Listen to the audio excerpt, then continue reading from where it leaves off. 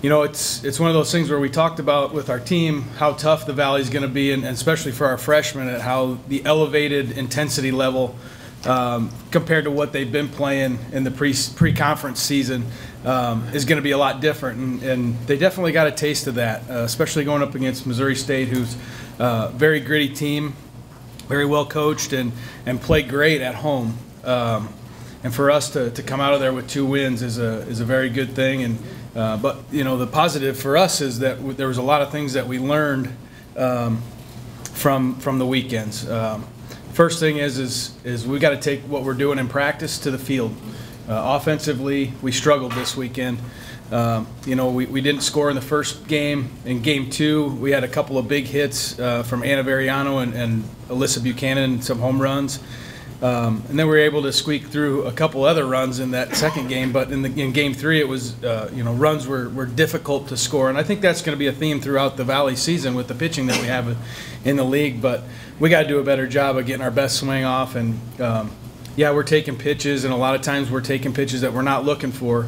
But when we're getting our pitch, we need to get our best swing off. And, and we didn't do a very good job of that this weekend. Um, but the positive was we were still able to find a way to get two wins. Um, Alyssa Buchanan pitched great for us in game two, and then we were able to uh, finally make a good pitching change for as, as far as timing goes. Uh, she came in and got us out of an inning and then finished the rest of the game yesterday and, and really kept Missouri State's bats in check, which um, you know was a great thing for our offense. Number one, we talked about it um, in the in the pre-conference season where we weren't doing a very good job in game two we might have came out and scored eight runs and run ruled a team in game one or played really good and won a close game in game one. And then game two we just kind of were flat.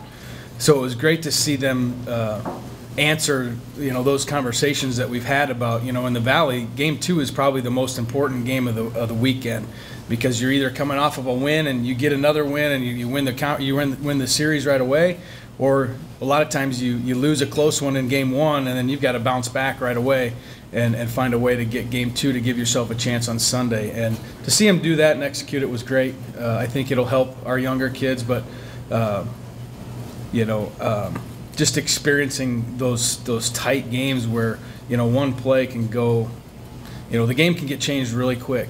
So for them to be able to understand like the importance of making sure that you understand the situation and everything, because it doesn't matter if it's the first or the seventh, there's going to be a play that determines a, a lot of the outcome of the game.